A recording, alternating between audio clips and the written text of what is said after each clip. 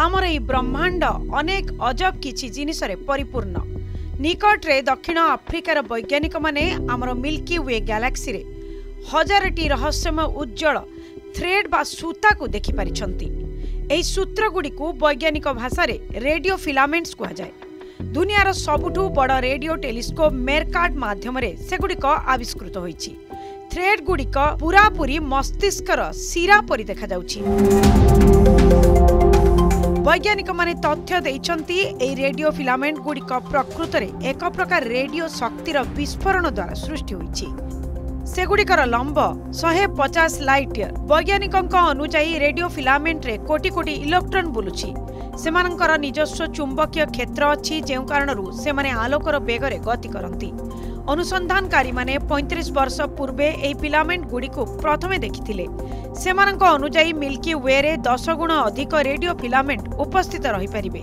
ଦୁନିଆର ସବୁଠୁ ବଡ଼ ରେଡିଓ ଟେଲିସ୍କୋପ୍ରୁ ମିଳିଛି ଗ୍ୟାଲାକ୍ସିର ଫଟୋ। ବିଶ୍ୱର ସର୍ବବୃହତ ରେଡିଓ ଟେଲିସ୍କୋପ୍ ମିର୍କାଟ୍ ଦକ୍ଷିଣ ଆଫ୍ରିକାର ରେଡିଓ ଜ୍ୟୋତିର୍ବିଜ୍ଞାନ ଅବଜରଭେଟୋରୀରେ ରହିଛି। ବୈଜ୍ଞାନିକମାନେ ଏହି ଟେଲିସ୍କୋପ୍ରେ ଦୁଇଶହ ଘଣ୍ଟା ବିତାଇ ରେଡିଓ ଫିଲାମେଣ୍ଟର ସ୍ପଷ୍ଟ ଚିତ୍ର ପ୍ରସ୍ତୁତ କରିଥିଲେ।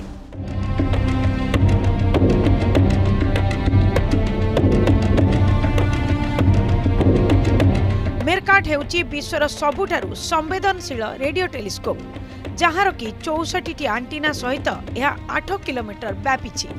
ବୈଜ୍ଞାନିକମାନେ କୋଡ଼ିଏଟି ବିଭିନ୍ନ ସ୍ଥାନରେ ରେଡିଓ ପର୍ଯ୍ୟବେକ୍ଷଣ ସାହାଯ୍ୟରେ ମହାକାଶର ଏକ ବଡ଼ ଅଂଶକୁ ଦେଖିପାରିଛନ୍ତି।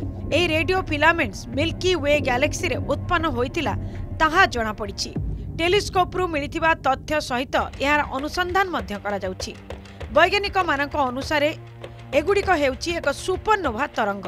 ତେବେ ଏହି ଅନୁସନ୍ଧାନ ସହିତ ଗ୍ୟାଲାକ୍ସିରେ ଉପସ୍ଥିତ ଆହୁରି ଅଧିକ ରହସ୍ୟମୟ ପଜଲ ସମାଧାନ କରିବାକୁ ସମର୍ଥ ହେବେ ବୋଲି ଏହି ରେଡିଓ ସାଇଣ୍ଟିଷ୍ଟମାନେ କହିଛନ୍ତି।